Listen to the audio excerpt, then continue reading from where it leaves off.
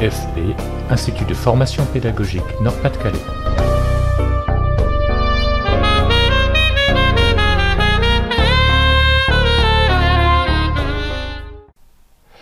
Voilà votre site brut de décoffrage, donc nous allons le paramétrer. Pour euh, arriver dans la partie administration du site, le plus simple est d'ajouter derrière l'adresse de votre site slash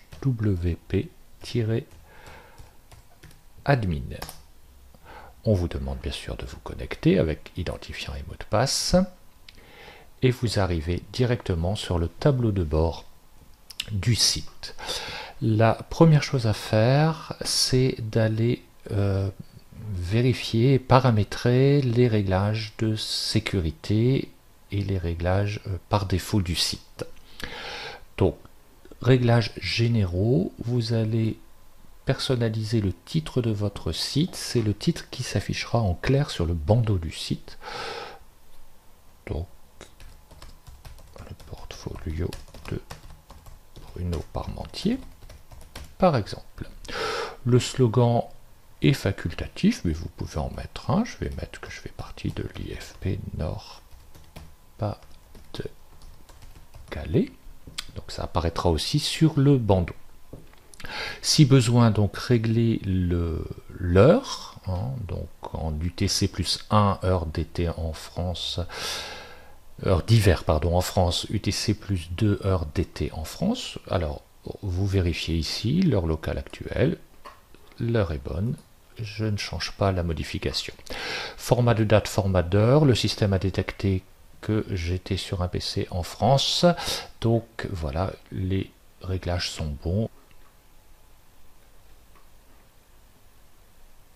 N'oubliez pas d'enregistrer les modifications. Poursuivons les réglages. Réglages en écriture. Vous pouvez laisser euh, par défaut en lecture. Donc vous choisirez euh, ultérieurement si votre portfolio s'ouvre sur les articles de blog en page d'accueil ou sur une page d'accueil que vous composerez euh, ultérieurement et vous choisirez ultérieurement.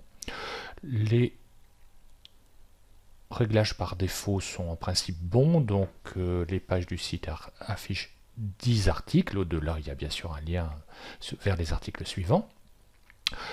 Euh, le flux RSS de votre portfolio, donc 10 éléments, c'est bien. Afficher l'extrait, c'est bien. Alors, visibilité du site, là, euh, faites très attention. Donc, euh, autorisez les moteurs de recherche à indexer ce site. Votre site est public et sera référencé sur les moteurs de recherche, par exemple sur Google vous pouvez avoir un site public mais non référencé sur les moteurs de recherche en sachant que c'est pas fiable à 100%. Et puis si vous le souhaitez, mais on est bien d'accord que c'est sur l'ensemble de votre portfolio, l'ensemble de, votre portfolio peut être réservé à certains lecteurs. Vous mettrez la liste de ces lecteurs avec leur adresse mail. Euh, masquer les, les articles similaires, vous pouvez laisser comme ceci. Le reste n'a pas grande importance. Peut-être ici paramètres des abonnements. Donc les utilisateurs non connectés pourront suivre votre blog. Donc vous pouvez cocher. On enregistre les modifications. Et on passe au réglage de discussion. Il s'agit des euh, commentaires et des rétroliens. Donc les rétroliens, c'est la chose suivante. Quand quelqu'un va mettre sur son blog ou sur son site un lien vers un article ou une page de votre portfolio, eh bien il y aura sous l'article dans votre portfolio une référence à cette citation. Voilà, vous les autorisez ou pas. Autoriser ou pas les visiteurs à publier des commentaires.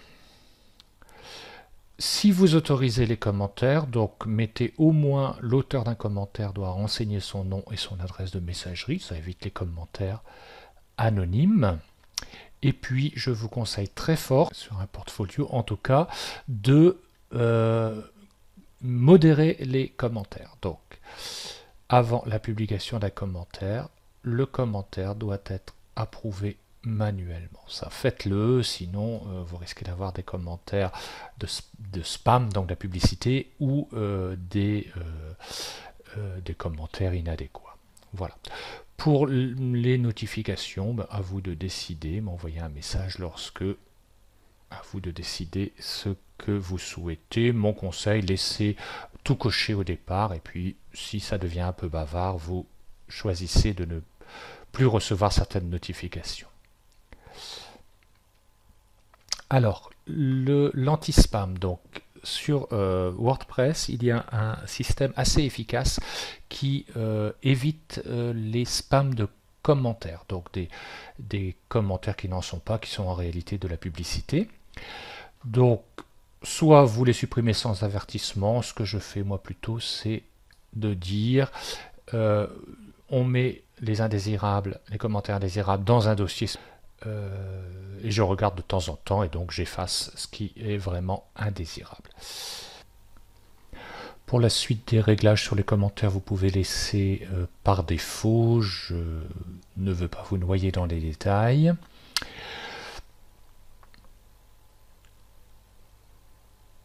Alors, les avatars.